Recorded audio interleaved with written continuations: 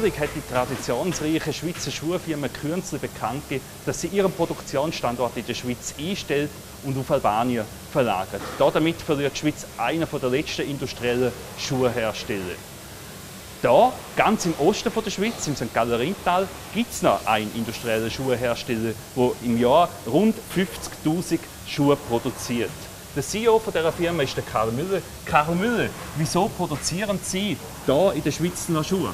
Ich habe ja bis 2006 äh, Produktion in Asien gehabt, mit mehreren tausend Mitarbeitern beschäftigt, in China, in Vietnam, in Korea, wo wir 200.000 Paar Schuhe pro Monat hergestellt haben, wo ich aber angefangen habe oder mich entschieden habe, äh, nochmal von Grund auf anzufangen mit Kibon, ist für mich klar gewesen, dass ich in die Schweiz komme.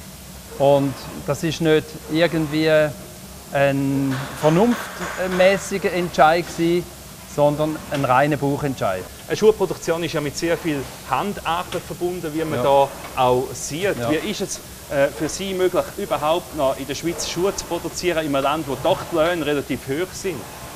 Für einen Ingenieur ist grundsätzlich alles möglich. Es gibt nichts, was nicht möglich ist. Natürlich muss man sich einschränken, man muss anders arbeiten. Als äh, Quereinsteiger ist das für mich viel weniger wahrscheinlich ein Problem als für jemanden, der von der Schuhindustrie herkommt. Äh, wir denken anders und ich habe mich einfach entschieden, in die Schweiz zu kommen. Wir haben uns angepasst und wir stellen fest, es funktioniert. Da sieht man den Obenschuh von diesen Kibun-Schuhen wie gemacht. Nebst ist natürlich die Produktion noch weit grösser. Ich glaube, wir schauen hier mal ein bisschen rein. Jetzt Karl Müller, wie ist das? Kann man die ganze Anlage für Schuhproduktion irgendwo ab der Stange kaufen oder haben Sie das alles selbst entwickeln Also die Art und Weise, wie wir Schuhe produzieren, ist ja ganz anders äh, als sonst in einer normalen Schuhfirma. Es ist viel, viel aufwendiger, weil die Sohle elastisch federnd ist und darum haben wir schon weitgehend alles müssen selber entwickeln. Was man jetzt hier Was wird da gemacht? Da wird der Schuh eingeleistet. Also der Oberschuh wird ja geneigt zuerst einmal, nachdem dass äh, Einzelteile ausgestanzt worden sind. Und schlussendlich muss ja der Oberschuh, der sogenannte Schaft, verbunden werden mit unserer elastisch federnden Sohle. Und damit er verbunden werden kann, braucht es viel Vorbereitungsarbeiten. Und dann muss er in die Form gebracht werden. Und nachdem dass er in die Form gebracht worden ist, äh, muss er fürs Kleben vorbereitet werden. Ja. Jetzt speziell in Ihrem Schuh, Sie haben es angesprochen, ist ja die Sohle, ist denn an dieser Sohle so speziell? Ja, die Sohle ist eigentlich ein Trampolin. Die ist elastisch federnd. Die ist innen dran hier ganz weich. Man kann die millionenfach zusammendrücken, also wie ein Trampolin federn. Sie muss aber unten so hart sein, dass nichts äh, sich abnützen tut. Auf der Seite muss weich sein, damit sie nachgibt. Und äh, am Rand muss wieder hart sein, damit der Oberschuh, der Schaft, gut hebt. Trampolinbewegung ist die Lieblingsbewegung vom Menschen. Es ist auch die gesündeste, beste Bewegung. Und äh, die Bewegung dort den ganzen Körper umtransformieren. Kräfte müssen in die Füße runter. Und wenn man auf den harten, flachen Böden in normalen Schuhen läuft, dann nachher, äh, ist es eben so, dass man im Alter die Füße nicht mehr bewegen kann. Man läuft hüftorientiert, man macht kleinere Schritte. Und der Grund ist der, dass man die Füße nicht mehr braucht. Und die Sohle führt dazu, dass Die Füße runtergehen und dass man äh, die Hüfte entspannt, der Rücken entspannt und automatisch aufrechter wird und bis ins hohe Alter kann, äh, schmerzfrei laufen. Also kann man ein bisschen zugespitzt sagen, mit dem Schuh lernt man wieder richtig laufen? Ja, so ist es. Äh, richtig laufen heisst ja barfuß in der Natur. Dort werden die Füße gebraucht, auf den flachen, harten Böden äh, verkümmert die Füße, dann läuft man nur noch aus den Hüften raus, am Schluss am Rollator. Und äh, in diesen Schuhen lernt man eigentlich das natürliche Barfußlaufen wieder. Sie haben es gesagt, es war äh, nicht ein Vernunftsentscheid, um hier in die Schweiz zu kommen, zum produzieren. Wir schauen hier ein weiter in den Betrieb äh, rein. Wäre ja viel einfacher gewesen, wenn Sie auch in ein asiatisches Land gegangen wären, wo die Fachkräfte schon vor Ort gewesen wären, auch finanziell wäre es doch für Sie viel interessanter gewesen. Für mich ist es, wie gesagt, hier, obwohl ich ein wissenschaftlich äh, denkender Mensch bin, mache ich unternehmerische Entscheidungen zum größten Teil aus dem Buch heraus. Es war ein, Buch, ein Buchentscheid. Im Nachhinein muss ich sagen, gibt es äh, viele Vorteile, die wir in der Schweiz haben. Wir haben eine gewisse Stabilität hier. Ähm, wir haben das Know-how im eigenen Betrieb. Also wir müssen nicht irgendwie Angst haben, wir werden kopiert. Natürlich werden, das sehen wir jetzt schon, äh, auch die Grossen plötzlich äh, produzieren alle die Schuhsohlen so. Also man schaut uns auf die Finger bei den ganz grossen Marken auch. Aber das wesentliche Kern-Know-how haben wir hier bei uns im Werk. Und das Risiko, dass wir in Asien kopiert werden, ist natürlich viel kleiner. Sie haben es angesprochen, der Bauchentscheid. Wie nachhaltig ist denn Ihr Bauchentscheid? Wären Sie in zehn Jahren weiterhin hier in Sinnwald Schuhe produzieren? Sind denn all die Flächen voll mit Anlagen, um die Kippe und Schuhe zu produzieren? Ja, das heisst ja nicht, dass ein Bauchentscheid weniger nachhaltig ist als ein vernunftmäßiger, weil ein vernunftmäßiger Entscheid hängt viel mehr von äußeren Umständen ab. Und wenn die Umstände ändern, dann ändert man auch wieder den Entscheid. Mein Buchentscheid, glaube ich, das ist eine Inspiration äh, eine übernatürliche Inspiration und da glaube ich, dass die viel länger haben und wir sind überzeugt, dass wir über Generationen da in Seenwald werden produzieren. Sie haben gesagt, eben erfolgreich. Wie messen Sie denn den Erfolg? Ist der bei Ihnen dass am Schluss möglichst viel äh, ja, auf dem Konto ist. Das kann es ja fast nicht sein, sonst würden Sie nicht in der Schweiz produzieren. Oder wie messen Sie persönlich, ob Ihr Unternehmen erfolgreich ist? Ja, wenn das Geld eine Antriebsfeder wäre für das unternehmerische Denken, dann würde ich wahrscheinlich gar nichts mehr machen. Würde ich auf, wäre ich auf eine Insel gegangen nach dem MBT-Verkauf. Dann hätte ich nicht nochmal mühsam von Grund auf angefangen. Nein, für mich ist, ich glaube, wenn ein Auftrag vom Himmel, äh, da jetzt aufzubauen in der Schweiz und zwar so zu bauen, dass es über Generationen halten wird. Der Kern von Ihrem Produkt, von Ihrem Hilfsmittel für Leute mit jensten Beschwerden ist die Sohle. Ich glaube, wir gehen jetzt einmal schauen, wie die Sohle auch produziert wird. Jetzt sind wir einen Stock tiefer.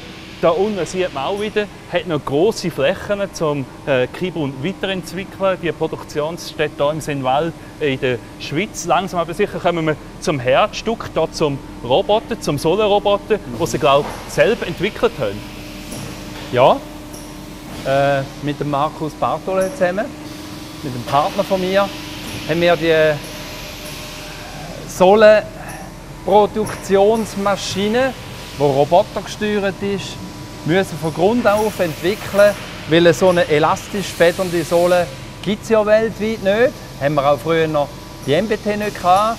Und darum haben wir das von Grund auf müssen zuerst einmal von der Idee her einfach ausprobiert, wie das ist, wenn man auf elastisch federndem Material, wo wie Trampolin wirkt, wenn man einmal läuft, wenn man das an die Füße macht und vom Prototyp bis zur Serienreife von äh, industrieller Anwendung haben wir die Maschine von Grund auf müssen entwickeln. Was war also die grösste Herausforderung bei dem Entwicklungsprozess?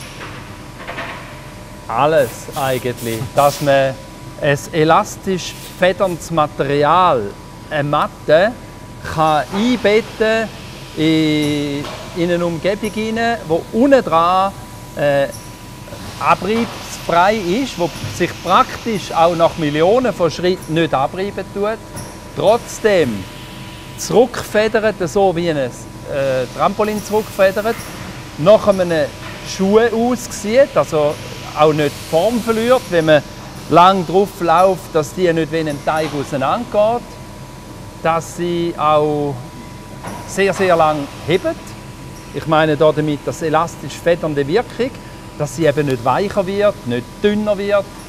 Das sind äh, so grob die wichtigsten äh, äh Herausforderungen. Ein wichtiger Punkt ist sicher auch, dass äh, die Solarproduktion nicht besonders personalintensiv ist, dass viel automatisiert ist, ähm, vor allem wegen der Lohnkosten.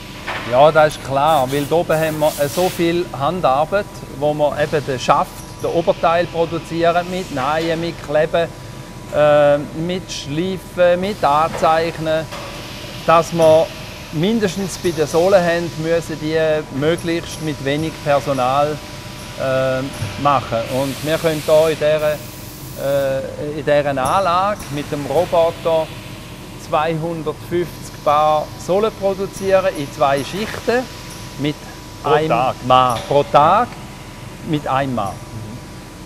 Sie glauben wirklich daran, da etwas reinzustellen. Was denken Sie in zehn Jahren? Wie viele Mitarbeiter sind da? Oder vielleicht, wenn es automatisiert ist, wie viele Schuhe produzieren Sie da?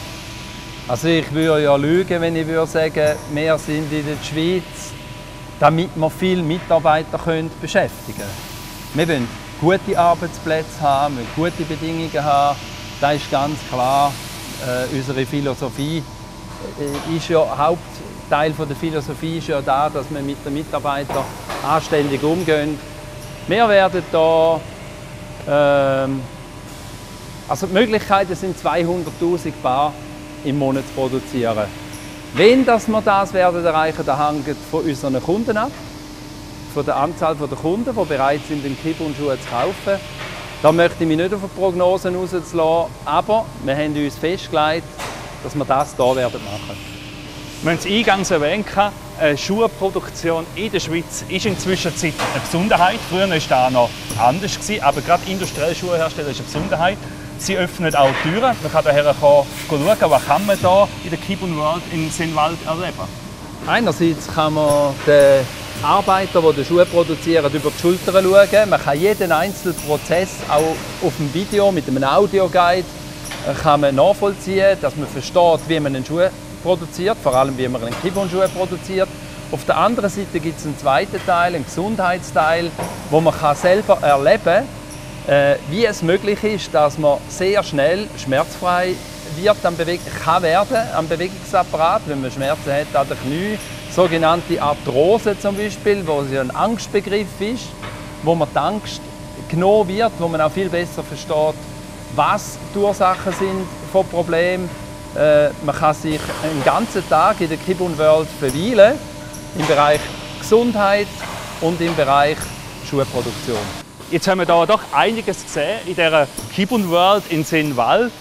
Ich glaube, Sie haben einen Einblick können gewinnen, wie in der Schweiz heute noch Schuhe produziert werden. Falls Sie jetzt gewundert sind und noch mehr erfahren wollen, können Sie entweder auf die Homepage gehen von der Kibun World, die lautet www.kibun-world.ch oder Sie können einfach selber hier vorbeikommen in Sennwald und schauen, wie vielleicht sogar Ihr persönlicher Kibun-Schuh produziert wird.